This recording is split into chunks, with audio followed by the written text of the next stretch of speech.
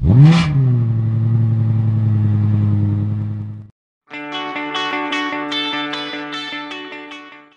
eighteen Ford Kuga rumors, design, engine. The second generation of the Kuga has been released back in 2012 so it is not that old.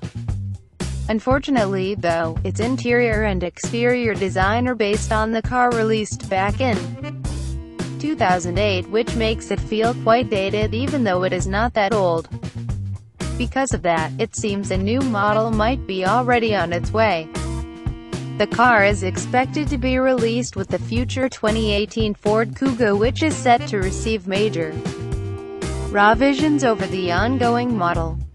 The car will likely become lighter, bigger and better to drive. On top of that, the playful character of the original might make a return which would definitely allow the Kuga to get back to one of the top spots in its class.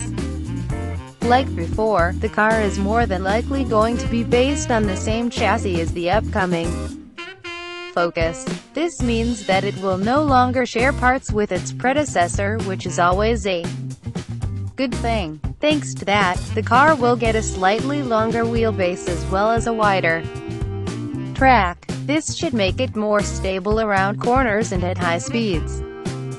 Also, a fully independent suspension setup will assure that the car will be able to offer not only the comfort, but also the driving experience required to succeed.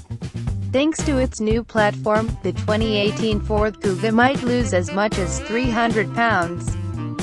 With the help of its new suspension, the car should be able to drive more like a hatchback rather than a tall crossover. The ongoing generation is based on the outgoing Focus, so it has the same unusual centered console and stack as well as the massive amount of buttons used on these cars. The new 2018 model, on the other hand, should get an entirely new cabin. Like before, the car will still share its dashboard with the Focus. This time around things are going to be much improved though.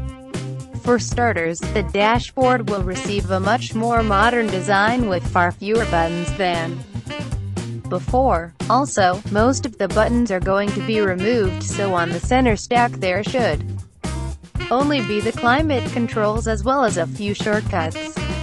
The infotainment screen will move from the dashboard on top of it. This will improve visibility and hopefully free up the center stack. Its instrument cluster will still be the regular analog type, but only on the base models.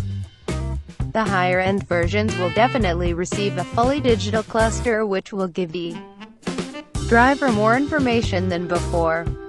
As we said above, the current car shares most of its design scheme with the original model. It did receive a small update a short while ago but the new front end didn't really change it that much. It looks like the 2018 Ford Kuga might receive a major redesign. Most rumors suggest the car will get closer in design to Ford's latest crossovers such as the Edge or the new Expedition. Expect the Kuga to receive a more aggressive front end. Possibly a new roofline in order to bring it closer to a coupe and even a brand new glass house. Which is already overdue considering the current windows are the same as those on the 2008 model.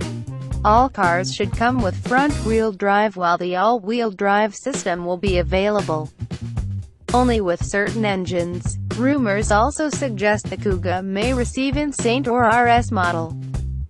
This would make it a true high-performance crossover which would definitely be well received on today's market, even though the engine is still unknown. We can expect it to boast in excess of 300 horsepower.